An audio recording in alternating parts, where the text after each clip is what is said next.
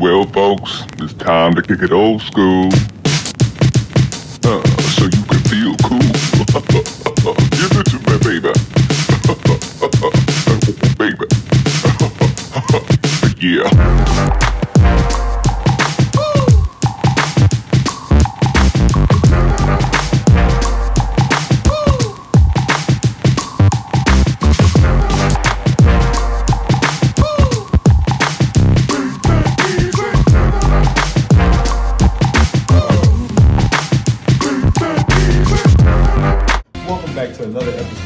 Sports Center. If you are a fan of old school basketball, then you are on the right channel. If you're a fan of sports, period, then you're on the right channel. But specifically for this video, old school basketball, you're on the right channel. So I ran across this video and I was like, man, you know what? It's a I, I got the opportunity for a Jordan LeBron debate. So I was like, let me go ahead and react to this video. So as you can see by the title, man, this is Skip Bayless. I didn't even know Skip Bayless had his own YouTube channel. But I guess somebody asked him, could Michael Jordan beat the teams that LeBron lost to in the finals? And I'm curious to see what's going to be said in this video. So y'all already know how we do it over here. We ain't gonna do too much talking. We're gonna go in and get it popping. Eric from Naperville, Illinois, just outside Chicago. Oh, speaking of Jordan, that's a good question. Does Jordan beat the six teams LeBron lost to in the finals? Very interesting. Okay, so let's take them quickly one at a time. My answer might surprise you here. I am a San Antonio Spurs fan from way back, from the Iceman Gervin days into the Tim Duncan era. Spurs were at their apex 2007 with Tim, Tony, and Manu. And of course, they rolled into the NBA Finals against LeBron James, baby LeBron, and those Cavaliers. And LeBron didn't come close to winning a single game. Now, granted, here's the thing. This was the San Antonio Spurs versus LeBron James because he was with the Cavaliers at that time. If you go look at that roster and that that that chart, that starting lineup, you will say, how did he get to the finals? And when you go look at that lineup, you say, how was he expected to beat them with this? So if you ask me, could Michael Jordan have beat that Spurs? Absolutely. Could Michael Jordan have beat the Mavericks? Absolutely. Could Michael Jordan have beat who else did they lose to? Spurs. Well, who else LeBron lost to? Spurs, Magic, no, Spurs, um, Mavericks. Um, he lost to the Spurs twice. Uh, Golden State. So wait, hold up. So the six NBA Finals teams LeBron lost to Mavericks, Spurs, Golden State. Who else did he play in the finals? I thought it was. They beat OKC. I don't know. They confused. They confusing me on that. Well, I thought LeBron. I'm trying to think. I mean, I remember him losing to the Spurs. Obviously, that's what Steven. That's what Skip Bayless talking about. I remember the Spurs. Uh, I think it was the Mavericks after that. Because uh, he lost to the Spurs twice. Then he lost to Golden State. So trying to figure out who other teams did he lose to in the finals. MVP. He got me stuck on that one. I guess it reminded me a bit of Michael Jordan, baby Jordan, in 1986 in his first playoff appearance, Against the first Bird. round against the Boston Celtics. Remember this? Game one at Boston Garden, Mm-hmm.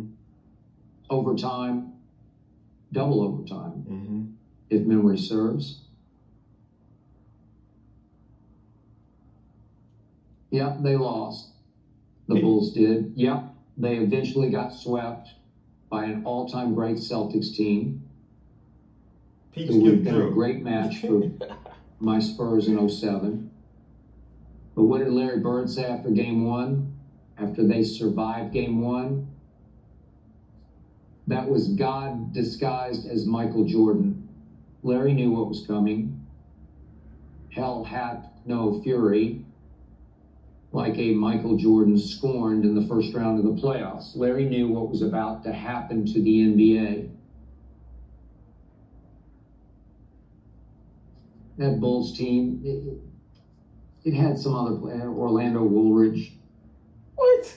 Uh, in fact, speaking of Iceman Gervin, he was in his final year of his career on that team, didn't play much or contribute much. Sidney Green was on that team. Who is these Gene people? Banks, Who is these people? NCAA Final Four championship game fame was on that team. That look, check this out. Charles Oakley was actually a rookie on that team. but check this out. That's almost like like hearing them names, and no disrespect to any of them guys, but I, I've never heard any of these guys be spoken about when in terms of when you're talking about solid players from that era. Never heard them. But the same thing can be said when you go look at that LeBron team that made it to the finals and got swept by the Spurs. Like how many? I, I think who he had, uh, Zydrunas Ilgauskas. I think it was Daniel Boobie Gibson. I think it was Mo Williams. Um, them the only people I really can remember. And I only remember them because of 2K10. It ain't because they was impactful players. I just remember them from a video game. But, you know, come on. But that was the equivalent of LeBron's Cavalier Going team the got Spurs. to the Spurs in the finals. I'm with you on that So here's my point about it. I don't think Michael, with that 86 team, could have beaten the 07 Spurs in a seven game series. But you know what I do believe? Michael would have won at least two games, at least two games, if not three. First year in Miami against Dallas, the 11, 2011 finals, up two games to one. If you gave Michael Jeffrey Jordan a two games to one lead on that Mavericks team, I don't care who his teammates were, but if you gave him his his Heatles kind of teammates, if you gave him Pippen and Kukoc, Ron Harper, they cakewalk. They obliterate and annihilate. They win that series easily going away. They, they win it in five games. Spurs, 2014, I mean, my thing is this too. Like, beat LeBron and company by we gotta understand one thing as well. Like, so it's only so much that LeBron can do or Jordan can do, right? What happens if LeBron has an off game? Somebody else has to step up. So LeBron can't make up the differences from what from his aspect and then trying to do everybody else's job. Score points for them, play defense for them. That he can't. It's only so much that he can do. Winning a championship, it takes a team effort. It ain't just one person. It takes a team. If you go back and look at the Bulls from those years, you look at the John Paxson shot. You look at the um the Steve Kerr shot. You look at um uh Scottie Pippen being so vital and you know being being able to slow down the best um scoring option on the opposing team. It's a team effort. If Scottie Pippen don't play defense the way Scottie Pippen play defense, whoever is on the other team going for 30, 40. You see what I'm saying? If John Paxson don't make that shot, Bulls lose. Steve Kerr don't make, I gonna say lose, but you know, it, it, it's like a 50-50. Steve Kerr don't make that shot. It's a 50-50. So it's a team effort. It ain't just LeBron or it ain't just Jordan. It's a team. We have to do it collectively. So I don't think that that's necessarily a knock on LeBron because of LeBron. If LeBron, prime example, go back to the year, um, the, the year when they played, the second year they played the Warriors in the finals when they had KD, right? LeBron went for 55 points. I think LeBron had a triple double. If not, it was close to a triple double. And they still lost that game. And why? And what's one of the reasons why they lost the game? JR fumbled the bag. He runs off with the ball. Is that a knock against LeBron? Because JR had a, a brain collapse? Like, come on, man. a record finals margin in five games. There is no way Jordan would have allowed that to happen. And again, if you take the 98 Bulls with Pippen and Kukoc and Ron Harper, Steve Kerr, and of course, Dennis Rodman doing the dirty work, manning the Dennis Rodman, too. Forgot about him. from below the rim. If you took that team coached by Phil Jackson, they could have beaten the 2014 Spurs. That team, not the the 86 Bulls, but that the 98 Bulls, they would have beaten the Spurs in 2014. They just would have.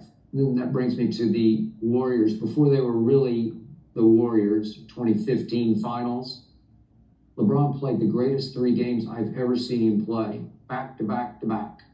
They're up two games to one in his house. Game four was in his house.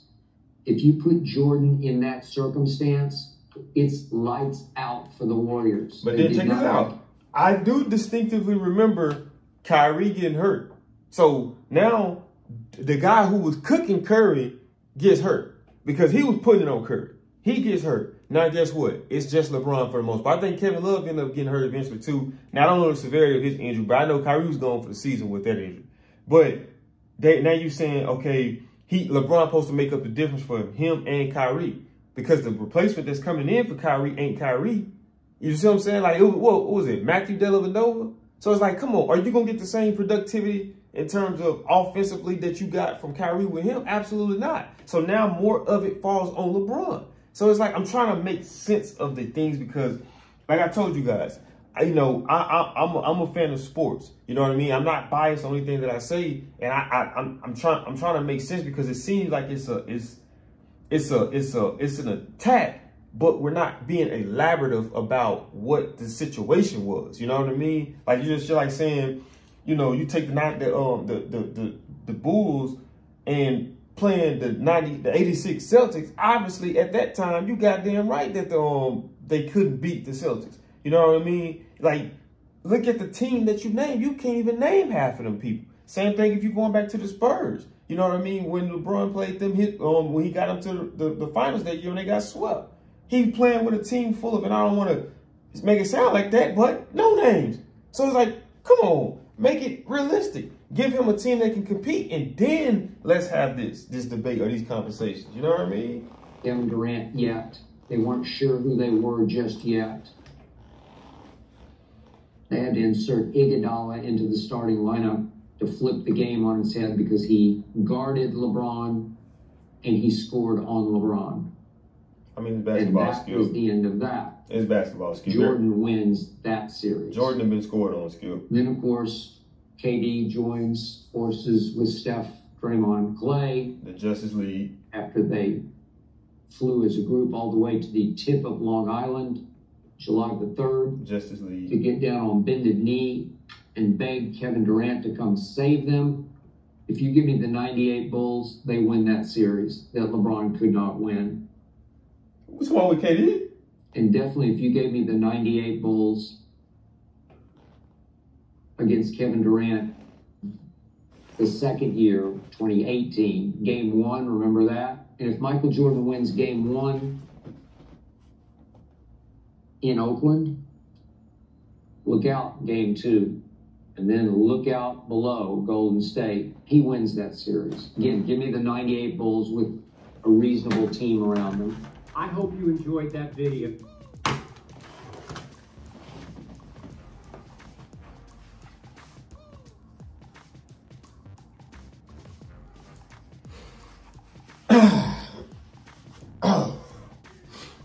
So I'm gonna piggyback off of this, right?